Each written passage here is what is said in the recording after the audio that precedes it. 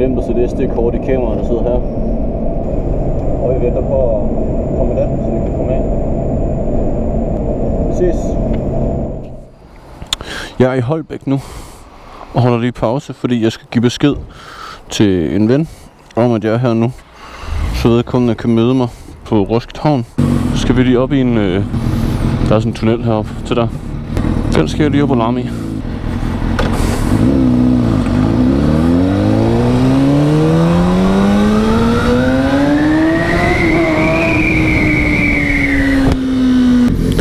Så skal vi lige op på lidt kedelig motorvej, og så skal vi til havnen på Roskilde. Til havnen på Roskilde. Okay, sprogsværser. Så skal vi på havnen i Roskilde. Eller til Roskilde Havn. Hvis du skulle komme med en kommentar. Hvis du måtte komme med et ønske, som vil blive opfyldt af alle, der kører bil, når du kører på en motorcykel. Hvad skulle det så være, at bilisterne gjorde anderledes? Fyr løs ned i kommentarerne. Jeg fandme godt tænke mig at høre, hvad folk siger. Og jeg der ikke kører motorcykel, hvad tror I, der vil være irriterende ved at køre i trafikken med biler? Jeg hopper lige af igen, for vi skal kun op på motorvejen, og så øh, går det ikke længe, så er jeg i Roskilde, og jeg er der garanteret før hende. Så øh, vi ses om ikke så længe. Dem af jer, der plejer at køre med mig herover, kan nok godt genkende den her vej lige om lidt. Jeg kunne ikke lade være, jeg kunne ikke... Øh... Åh, det kan lige det tror jeg, det var. Nå, ej, det kunne det ikke have været. Det er for mærkeligt, at hun kom herop. Kan vi se, hvor vi er nu, drenge? Ah, 80. Det er måske lige hot nok.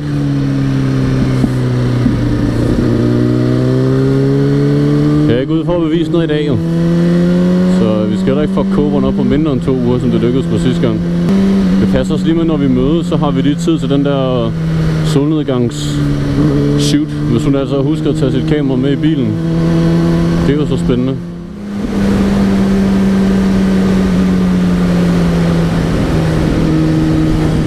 Og vi skal herop.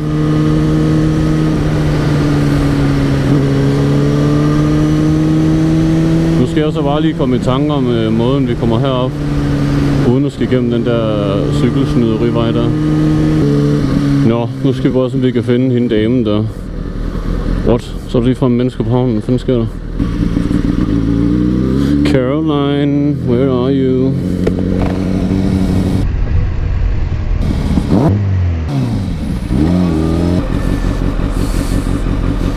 Hej! Ah. Det er alt for koldt, det der. Jeg har, jeg har andet nu. Ej, den er blevet fin. Den er meget pænere som sort end grøn. Har du kamera med? Yes. Jeg har allerede en location, vi skal ud på. Øh, en lille bit smule svært at forklare. Men, men vi, skal nok, vi skal nok klare den. Åh, frihed. Action! Er det i gang?